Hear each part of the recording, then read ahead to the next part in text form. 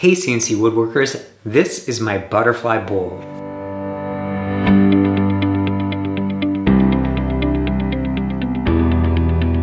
My name is Corbin Dunn and I use my CNC machine to make these unique bowl shapes and epoxy creations.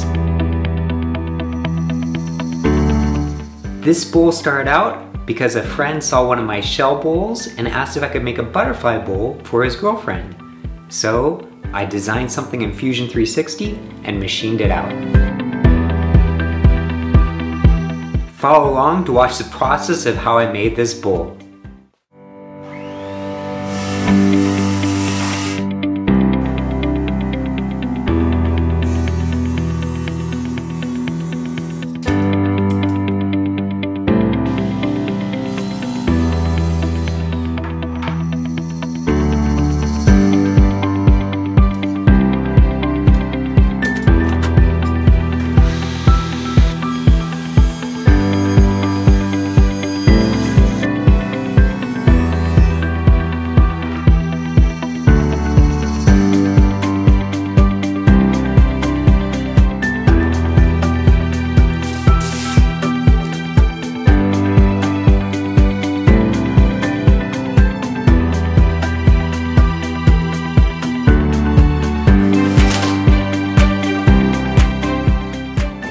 Here I'm using epoxy as a sealant to prevent air bubbles in the wood.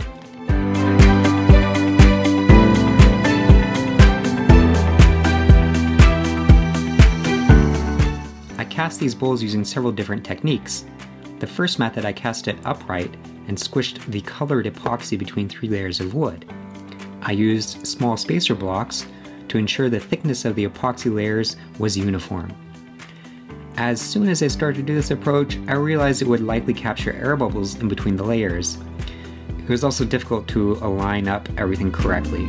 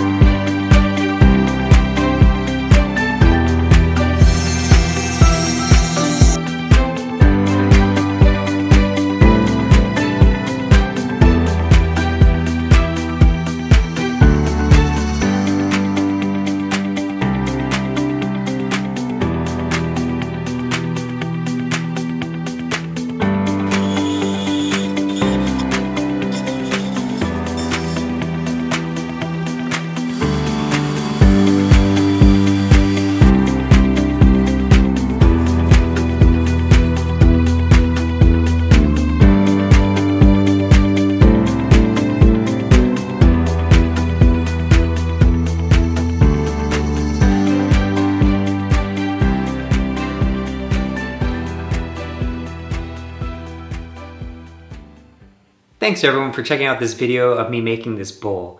I hope you liked it and subscribe, like, comment, hit the bell encourages me to make more videos and to create more and share it with you guys. Without that, I kind of don't know what my purpose is to even make these videos. So thanks everyone.